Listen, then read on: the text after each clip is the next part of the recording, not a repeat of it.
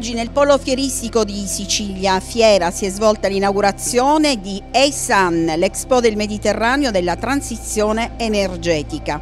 Tre giorni intensi tra networking, incontri, tavole rotonde all'interno della più grande area espositiva del sud nel cuore del Mediterraneo.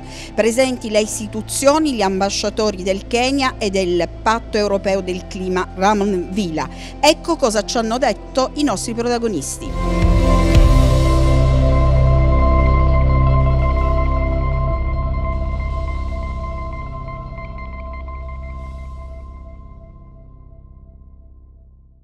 Quanto è importante organizzare questo evento in Sicilia oggi e come questo contribuirà allo sviluppo del nostro territorio?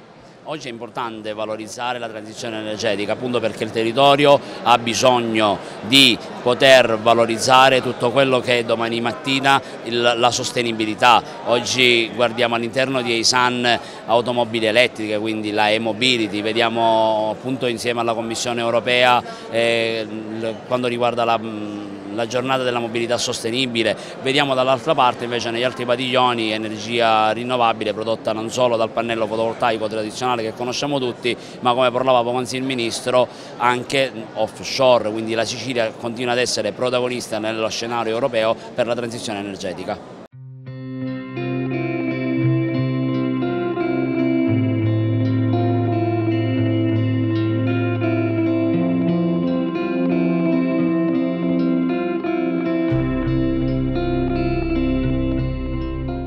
Quali sono le principali misure adottate dal Kenya per la transizione energetica? Um, in Kenya we have a lot of uh, initiatives on uh, energy transition.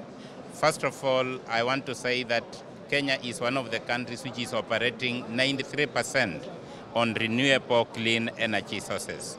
Most of our energy comes from geothermal power. We have wind power, solar, and uh, bio uh, hydro hydropower.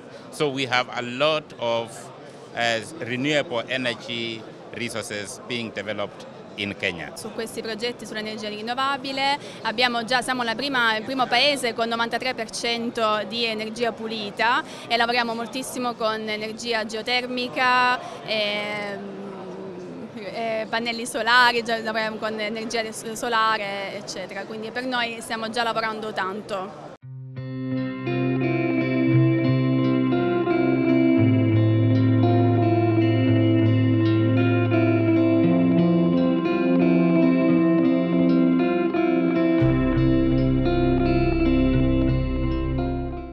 Quale ritiene debba essere il ruolo della Sicilia nella transizione energetica in Europa?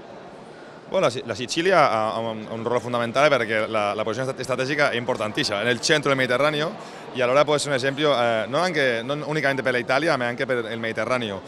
E la transizione mm, energetica è importantissima per avere una, una meglio qualità della vita e una meglio sostenibilità in Europa.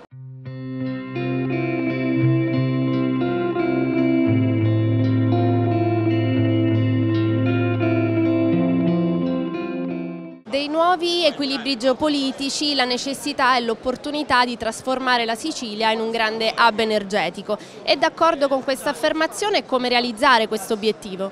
Assolutamente sì, quello che sta accadendo a livello globale, lo scoppio della guerra russo-ucraina prima, gli altri avvenimenti geopolitici che hanno destabilizzato il mondo occidentale impongono una riflessione anche sulle fonti energetiche alternative rispetto al petrolio.